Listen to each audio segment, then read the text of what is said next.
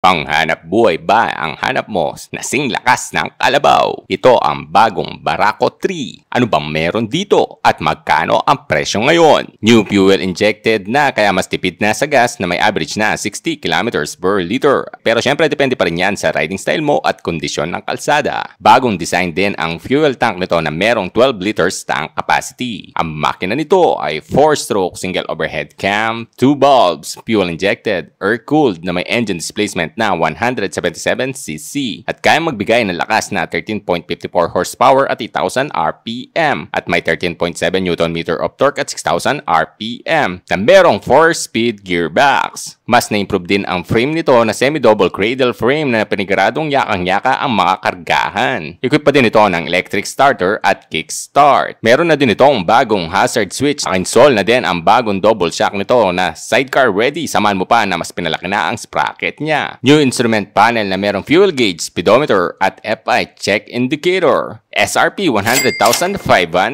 para sa specs ng Barako 3. Engine type 4-stroke single overhead cam, fuel injected. Cooling system air-cooled. Displacement 177cc. Maximum power 13.54 horsepower at 8,000 RPM. Maximum torque 13.7 Nm of torque at 6,000 RPM. Compression ratio 9.3 to 1. Bore and stroke 65.5 by 52.4 mm. Transmission 4-speed gearbox. Fuel consumption 60 km per liter. Fuel tank capacity 12 liters. Front brake at kanyang rear brake ay drum brakes. Front tire 3.0 by 17 at sa kanyang rear 2.75 by 17. Tube type po yan pareho. Wet weight 133 kg. Seat height 775 mm.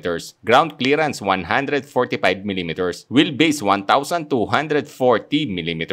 Para sa installment ng Barako 3, down payment 5,100. 12 months 11,644. 24 months 7,000 250. 36 months, 5,768. What's up mga soy? Nandito tayo ngayon sa BLC Cycle Kapastar Lock para i-vlog tong bagong Barako 3 FI. Susubukan naman natin yung seat height niya sa height kung 510 or insim na 32 mga soy. Bali, unang upo, flat-footed tayo. At kapansin-pansin na lumaki talaga yung tangke niya dito mga soy. Yung position ng ating paa, okay din siya, very relax. Sa balikat, all goods din. Hindi siya ganun aggressive Talagang pwede pampasada. Ito ang bagong Kawasaki Barako 3. What's up mga soy? Ito pala ang Kawasaki Barako 3 FI. So, bagong modelo nila to. So, ito yung iniba nila dito. Binigyan nila ng fuel injection. 100,500 na siya ngayon mga soy. Ilaw niya, Valve type pa rin, pati yung kanyang turn signal, valve type pa rin yan. Meron na siyang takip yung pinaka-suspension mo. So, iwas gas-gas, okay to mga soy, di ba? At least may takip yung pinaka-suspension mo. Telescopic fork siya,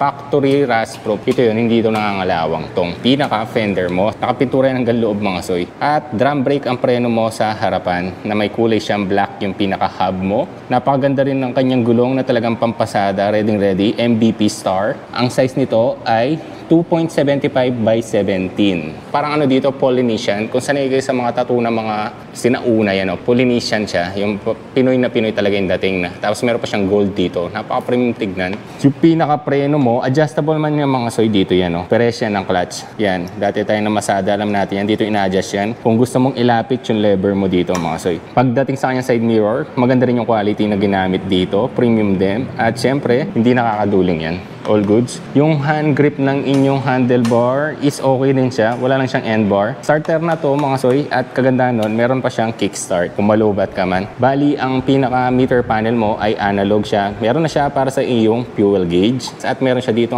para sa speedometer mo. Mga ano, indicator, turn signal, neutral at high beam. Napaganda rin ng kanyang butterfly na parang tapered no. Ang ganda tignan. Maganda rin kasi meron pa siyang bakal dito, mas matibay. Ito yung iniba nila, binigyan rin nila ng hazard itong bagong Barako 3 Astig, no? Napakaganda. Turn signal left, right. Itong high beam, low beam. Wala siyang passing light. Pinakabusina mo. Yung tank niya, iniba rin. Mas malaki to kumpara sa mga dating Barako. Kapansin-pansin dito yung pinaka-umbok niya mga soyo. Pero yung pinaka-design niya talagang Barako 3. Ayan, no? Tapos Polynesian, no? Gold. Nag-stand out talaga. Napakaganda. FI na to mga soy. So ito yung pinaka-pump niya dun sa fuel injection niya. Spark plug niya isa lang. Ayan, meron pa rin siyang kickstarter.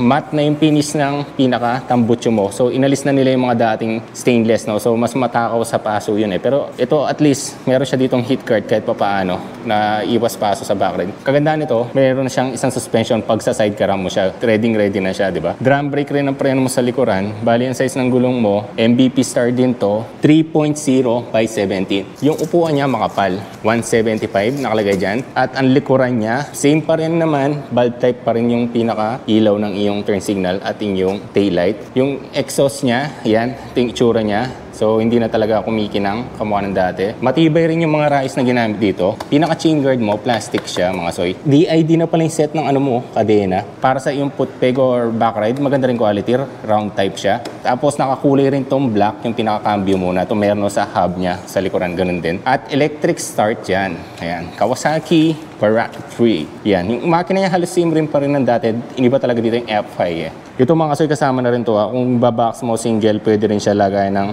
alloy box, top box na plastic. Pwedeng pwede rin siya. At dito ko na lang tatapusin ang vlog. Maraming maraming salamat po sa lahat ng nanood. Please follow nyo po ang page at i-share at i-like nyo na rin po. Maraming maraming salamat. Ingat kayo. Ride safe!